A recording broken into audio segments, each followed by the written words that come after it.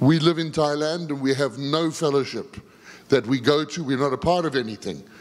And so, if we had to call any place home on earth, it would be here.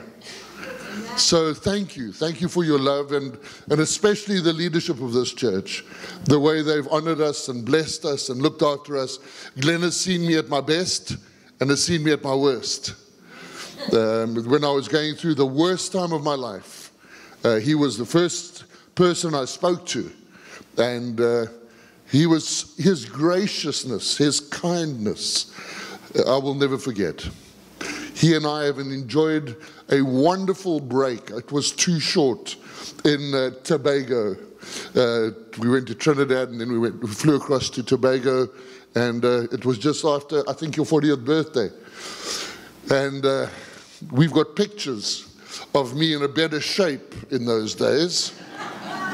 Um, and he, he just looks as good even up to today. So thank you. Sarah sends love to all of you that know her, and uh, Sonia knows her very well. She's been with us on an apostolic adventure. My wife is an adventure. I want to tell you, she never stops.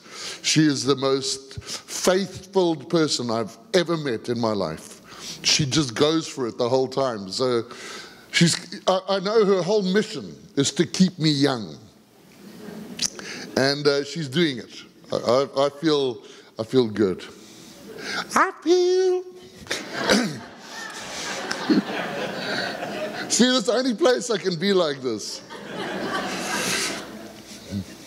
Throughout my, my Christian walk, I've always had a passion to understand principles, things that make us effective, things that cause us to have the, the impact, the uh, touch of God on our life, the miraculous flowing through us. I've always longed to understand what causes that. I don't believe God plays games with us. I don't believe He plays hide and seek. I believe if you cry out for wisdom, it will come to you.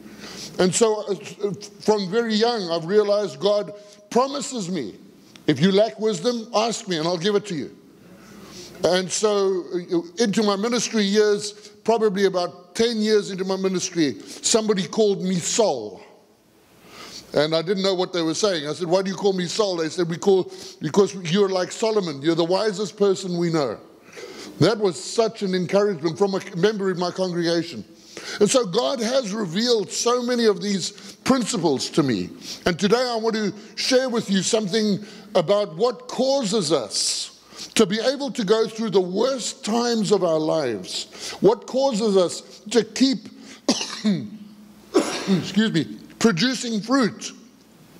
Not just fruit, but more fruit and much fruit. What, what causes us to be what Jesus said we can become? I believe that it, it has to do with the core values we hold, the decisions we made throughout our Christian walk. I believe it's got to do with the fact that we have made choices to live a culture which is different to this world totally. I believe at the very core of our being, what guides us is based on the choices we've made. So you will only find out who you really are at the worst times of your life when you have no control over all that's going on around you when life is unraveling in front of you and you, you don't know what move to make next, you go into almost autopilot, and that autopilot comes from the, the years of, of decision making you've made. I believe there are four things that are crucial for you and I to, to keep going the way He plans us to go, to keep having the impact we should have. Jesus gave us a model of these things in the last hours he was on earth. He showed in the worst time of his life, when all hell was coming against him, he showed that these principles were his guiding stars. They were the ones that took him to the cross. They were the ones that caused you and I today to enjoy eternal life because he made the right choices. So many a time in our lives, we make a wrong choice and wrong choices are costly. Are you the conservative or the charismatic crowd? you're gonna, you're, gonna, you're gonna be nice to me today, aren't you? Okay, I want to hear a big amen. amen. Right, all right. Work with me. You know, you know, I get motivated. If, if you look like you're getting excited, I'm going to get excited. And then who knows what's going to happen. So Jesus models this to us, and the very first thing that Jesus models that I believe is critical for you and I to live out every single day of our life is what is called sensitivity to the Holy Spirit. Sensitivity to the Holy Spirit. I don't, I don't know that we will ever realize how much we miss by not listening to God. I don't know if we will ever fully comprehend how many lives have missed the blessing of God because we have not chosen to be obedient. But of course, we in our own hearts long to, to be obedient because the very sign of our love toward God is that we obey His commands. We do what He tells us to do. We go where He tells us to go. I, I, want to tell you, obedience is critical for, for your impact on this earth. Jesus told Peter clearly, He said, You in your old age are going to go where you didn't want to go. You're going to be led where you didn't want to go. Remember my little prayer before I came to you Lord, send me anywhere in the world but America. Here I am. I fought against coming here. But when I realized it was the will of the Lord, I obeyed. Amen. I went into Johannesburg. I prayed the prayer, Lord, don't take me to Johannesburg or America. Those are only two places. Anywhere else is fine. When I went to Johannesburg, I want to tell you, I walked into 21 years of the greatest pain I, I know any human being has ever endured. I went through hell and back many times. You name it, pretty much, I've been through it. And for 21 years, I sat saying, Lord, why did you bring me here? I remember the very first week I was in the, in, in the, the um, church. I was to preach on the Sunday. Saturday afternoon, I got down to wait on the Lord. And I'm a type of person, I don't know about most other preachers, but I cannot preach if I haven't heard from God. God has to tell me what to say. Otherwise, I'm stuck. I, I, I don't have another model. So I get, now you must understand, I've got a choice whether I want to stay in Johannesburg or go to another town called Dundee, which is lovely. It's in the mountains, it's beautiful. You know where my heart is, don't you? Right, Dundee. So I go to get to prayer, I go down to prayer, and uh, God doesn't talk to me. 15 minutes, 30 minutes, 45 minutes, an hour, two hours. I'm crying out to him I say, God, why won't you talk to me? He said, Because I'm waiting for you to make a decision. About what? Dundee or Johannesburg? So I said, Lord, you know, I don't want to stay here. I don't like this place. Think of the place you like the least on earth, and God tells you to go and live there. Johannesburg is crime ridden. It is a horrible place to me. Maybe to other people it's not. I don't like it. So God just goes quiet again. And we sit and we sit and we sit. Eventually I realized I've got no choice. So I said, okay, Lord, that, I'll accept it on condition that you double this congregation. I only had 22 people. You double this congregation for three years in a row. Deal done. I stood up first Sunday. I said, I just want to tell you, I didn't ask to be here. God put me here. So if any of you are thinking of leaving, I give you the same choice. Don't leave. You stay. if I can't choose, you can't choose.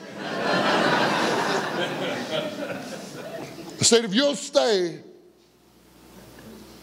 this will double first year, double the second year, double the third year. It's exactly what happened. We broke out of it seems we went mad. But then came all the trouble. God will take you where you don't want to go. God will take you where you love being. But you'll always have to go where God wants you to be. Jesus stood in the garden and he said, Lord, not my will, but thine be done. I'm willing to, to, to bow the knee. Lord, I'm asking you to take this cup from me. There's cups we don't want to drink, right? There's things we don't want to go through. There's times we're not happy about facing. We, there's, there's things like that. And in those moments, you've got to have a type of a relationship with God that you practiced before the trauma. And that is absolute obedience when God speaks.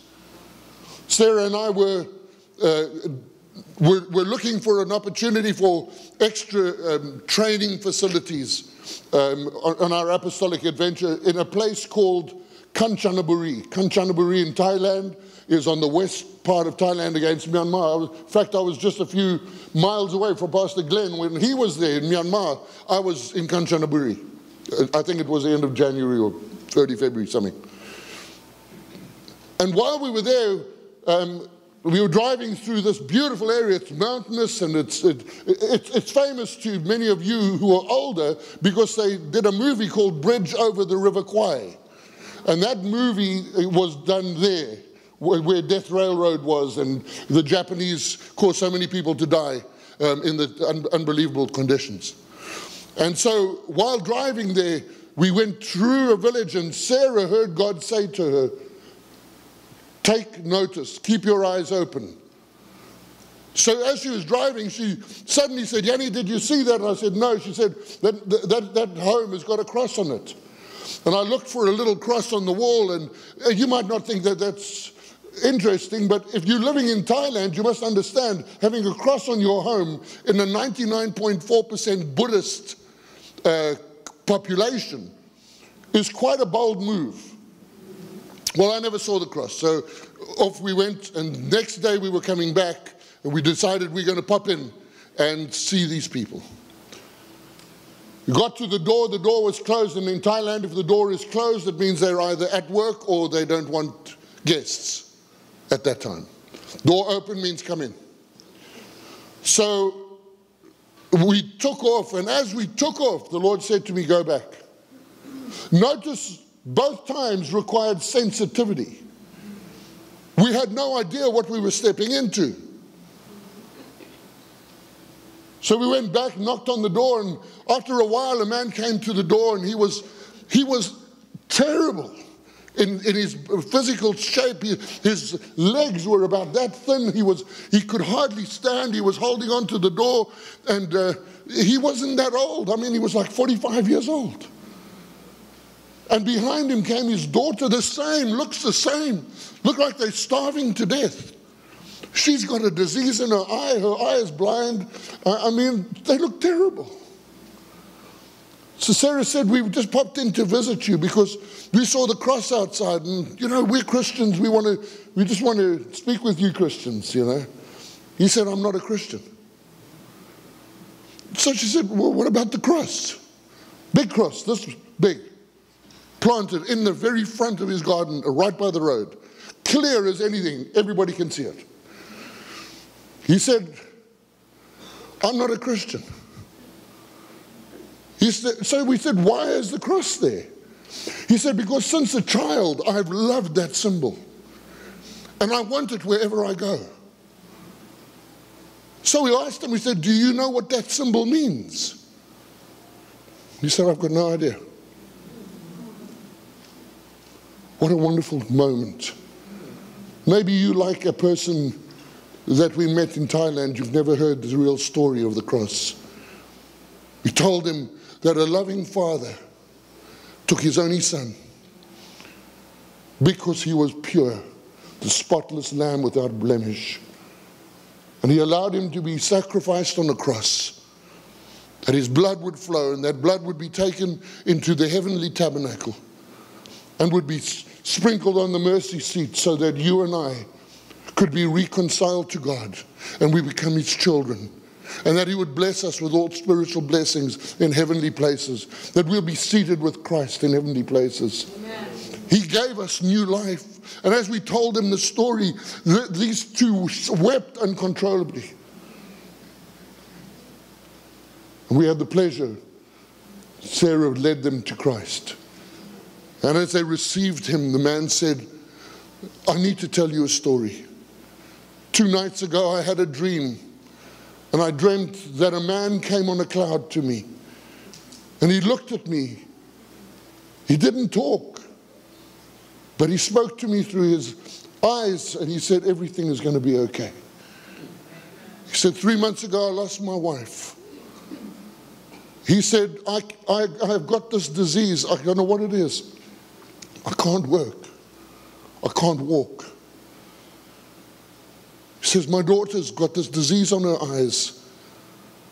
He said, And today the door was closed because we had eaten our last food. The last little bit of rice that we had, we ate today. And because we've put the cross up, nobody speaks to us. Nobody will help us. He says, We have no hope but just to die. We don't have any other choice. Sarah said, We're going to change that. And she went to the car and she got the basket filled with what women do sandwiches and uh, cookies and fruit and cool drinks. And, and we gave that to them. And they were so overjoyed. So overjoyed. And I'd just drawn money from the ATM. So I had a big roll of cash and I'd stuck it in his hand. And he cried, he wept uncontrollably as he realized that God had cared for him. God had done what he promised he would do. God had sent him somebody who would be sensitive to the Holy Spirit. I laid my hands on them both and I commanded healing to come. We didn't stay long enough to see them fully healed. But I'm confident that they're going to grow and grow in the things of the Lord and have an awesome testimony about how God cares. And this story is not finished, sadly.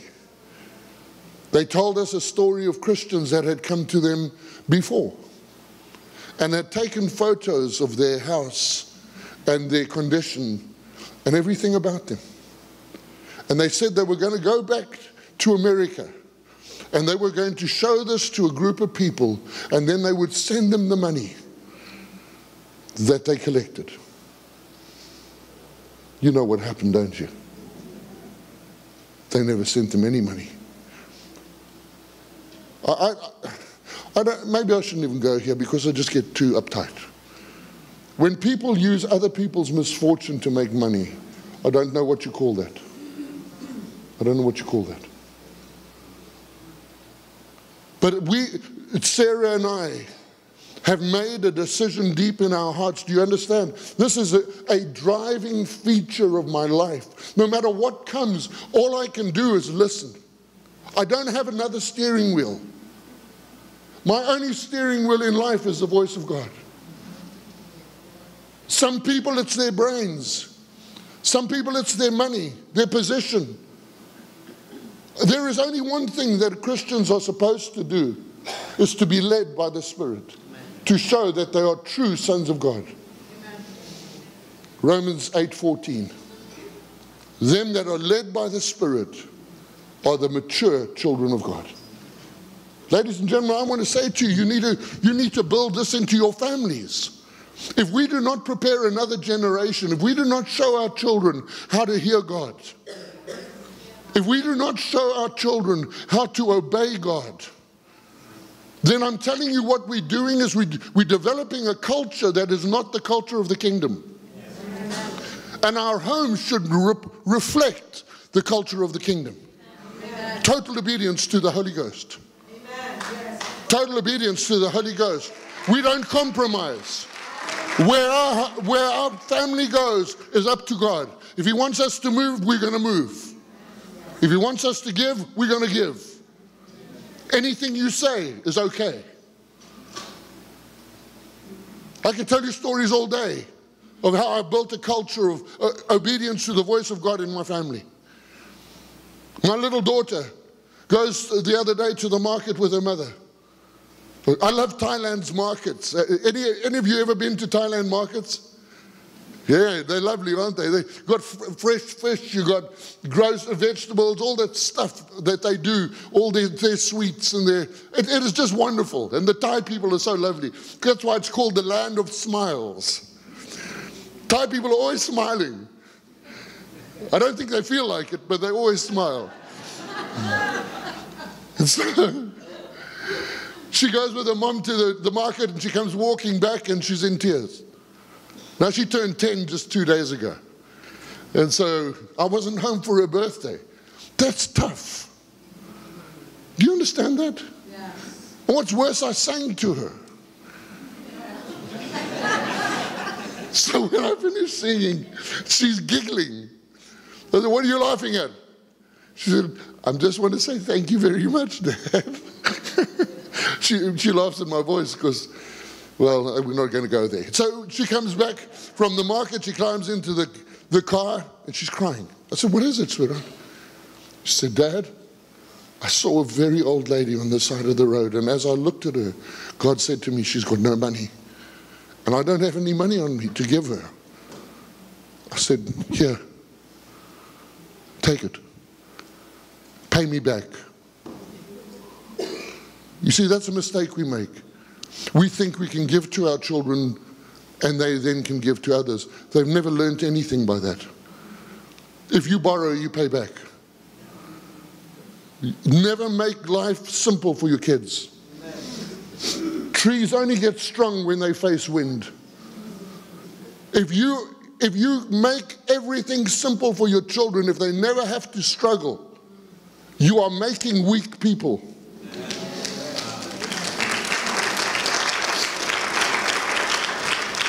You know that resistance will always develop. Create an environment of resistance. It's not part of my sermon. Let me carry on. so she went down the road, found the old lady, just put the money in her hand, and came running back. From small, she's learned the only way we live is God talks to us. When God speaks, we do it. Ladies and gentlemen, your second principle is that we develop a selflessness. A selfless, it's not about me, not my will, but thine be done. Jesus showed us very clearly that he wasn't living for himself, he was living for others. A selfless life, not a selfish life.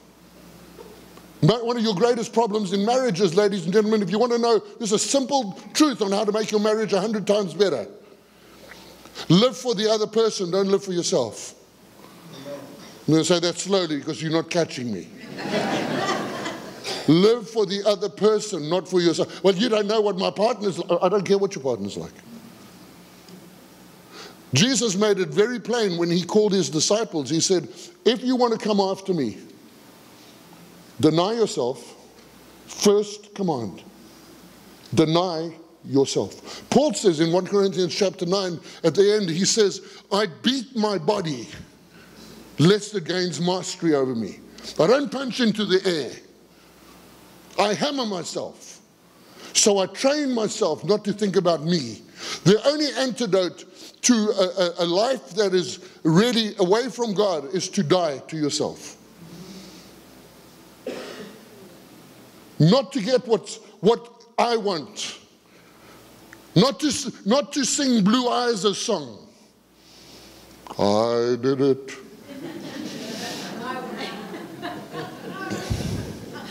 do, do, you understand what I'm saying to you? Are you I, want to, I want you to look me in the eyes. Are you selfish? Do you always want things your way? It's always your seat. It's always your parking. It's always your food. It's always mine. It's all about me. See, we don't teach kids this one. I'm amazed at some places I go to. Man, you know, there's cake out and everything in the church, and there's a little, a little kid who walks in, doesn't look, doesn't talk, grabs the cake and walks out. Last piece. That was mine. I'm only joking. I don't really like cake, it's the truth. But I'm looking at that piece of cake and I'm thinking, I wonder who in here would like a second piece. Man had no chance to even think. Little Johnny just helps himself. Does not ask, does not check. I come first. I know exactly what his home is like. Mommy is always making sure he gets dealt first. My little Nora found out very quickly that if you're around me, there is a culture of, of the kingdom that you're going to have to live. And that culture is thinking about others first. She used to have this little thing that what she would do is flick her fingers and say, Nam. Nam means water. Sitting at the table, halfway through the meal, she goes, Nam. What did you just say? She said, Nam. So I said, No, you're going to learn something, Nora. It is not Nam. We never, uh, we never get something without asking for it. And there is a way you ask. Before you ask, you put a little word called. You all know.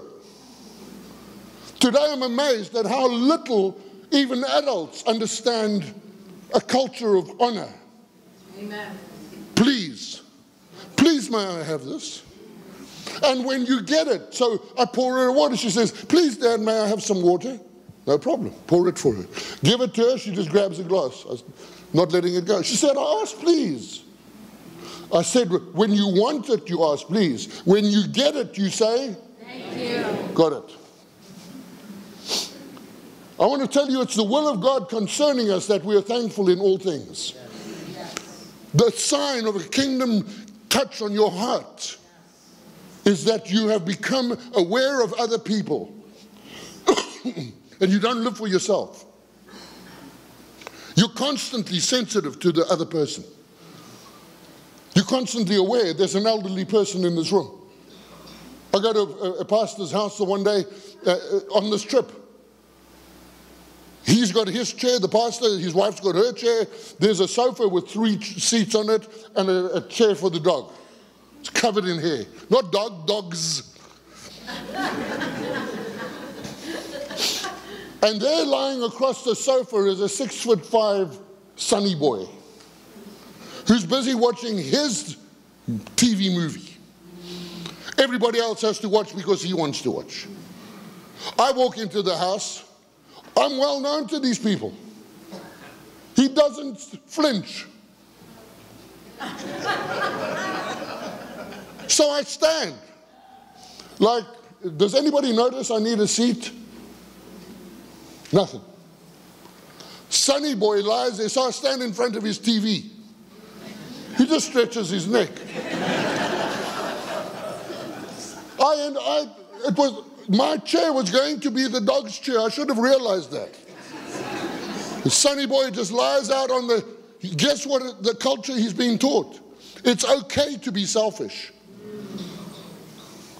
I want to tell you if he was my son, if he was not out of that chair, standing straight up, shaking the hand, looking into the eyes of the person, and asking him, What can I get you to drink? Please have a seat there would be action in my house. I mean it. They would be on the floor. If I if, if a, a guest walked in and you don't jump up, you're gonna hit that floor, I'm telling you. There's a culture. There's a culture we have to build. Because until, until we get it in the core of our being, when life comes at us, we won't know what to do. Jesus, aren't you glad Jesus never had any other complications? He had the perfect kingdom culture. He was totally, totally sensitive. He was totally selfless.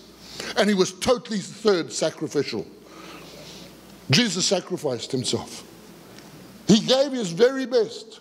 He left heaven's throne. He came down in the form of a man. He took on the form of a servant. He made sure that he died on the cross. So you and I today can claim the name of Jesus, that we can be, declare that we are sons and daughters of the Most High God. your and my behavior has consequences. Your and my behavior has consequences on other people. If we are selfish, it has consequences. If we are not sacrificial, it has consequences. David says this, he says, I'll not give to the Lord that which has not, not cost me something. When last did you and I give in a way that cost us?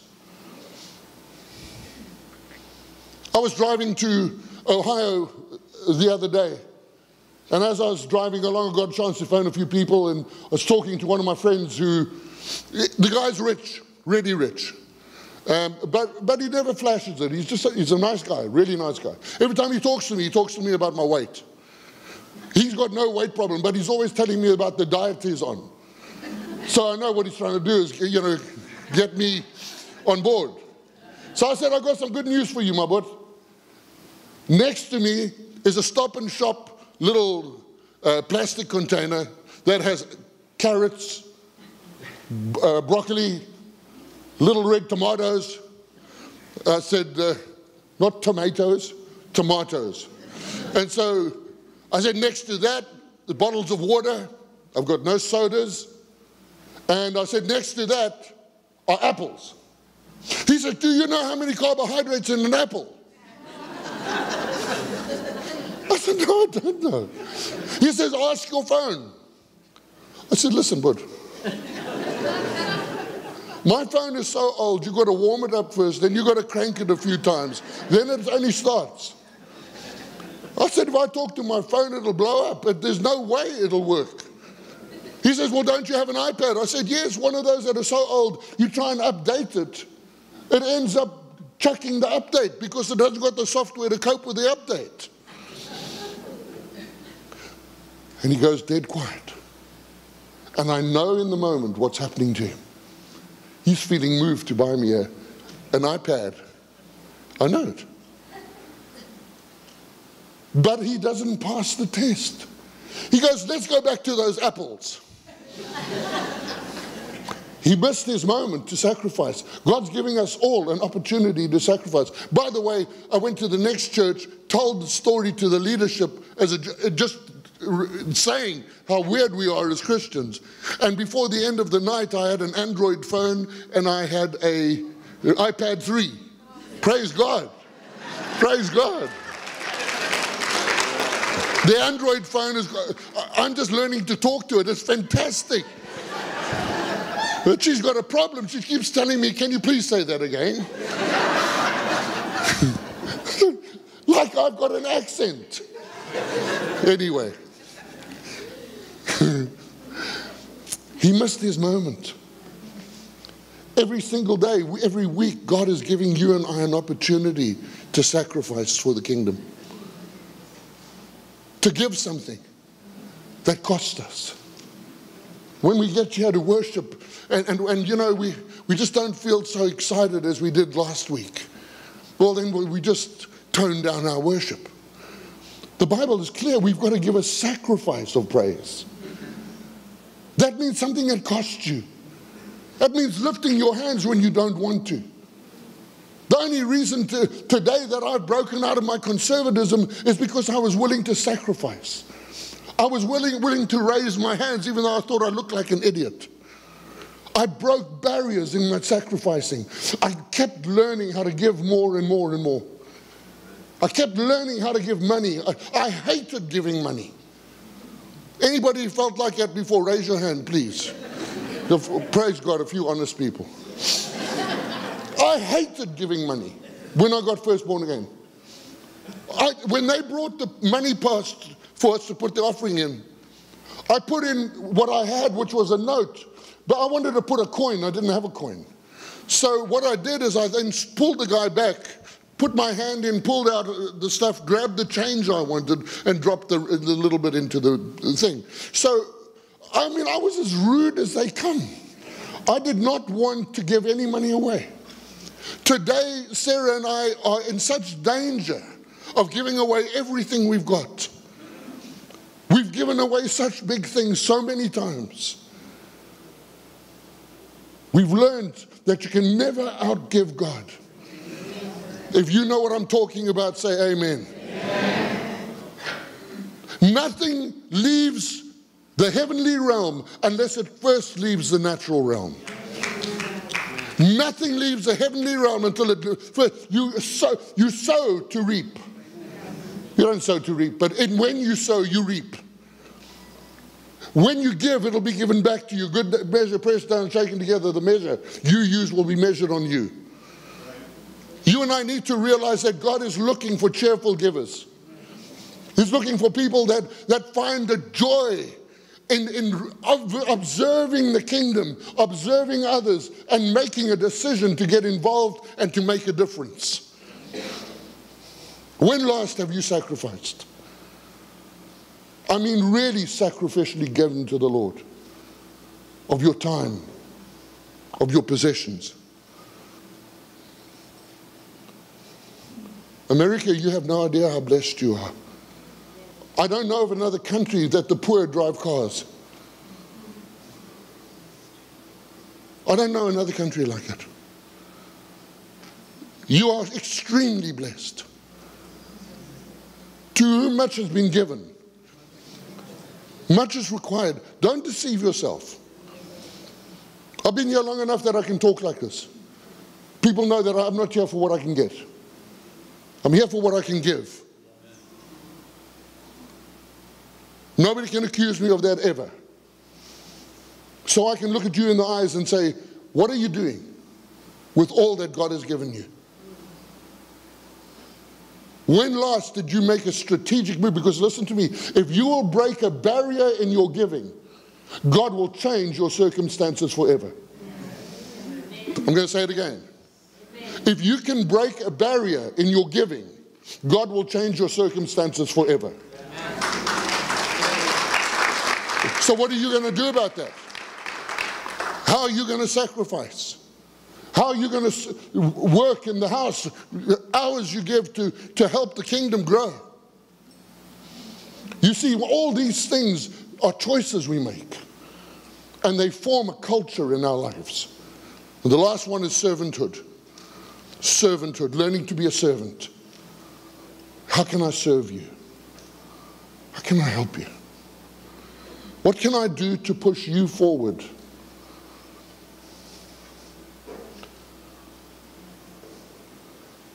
Jesus says, We are not like the Gentiles who lord it over others.